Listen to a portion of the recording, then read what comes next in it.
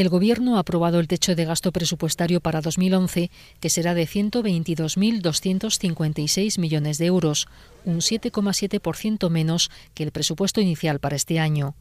Según la vicepresidenta primera del Gobierno, María Teresa Fernández de la Vega, esta decisión va en la línea de la necesaria austeridad a la que está obligado el Ejecutivo.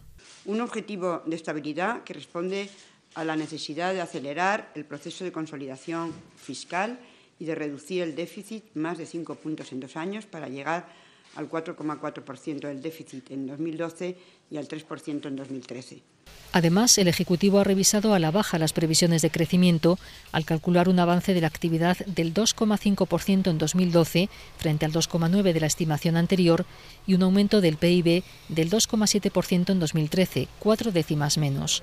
Según ha explicado la vicepresidenta económica Elena Salgado, esta situación implica que el desempleo sufrirá una ligera revisión al alza. Nuestra tasa de paro así también se modifica al 19,4% en el año 2010 y al 18,9% en el año 2012, 2011, 17,5% en 2012 y 16,2% en el año 2013.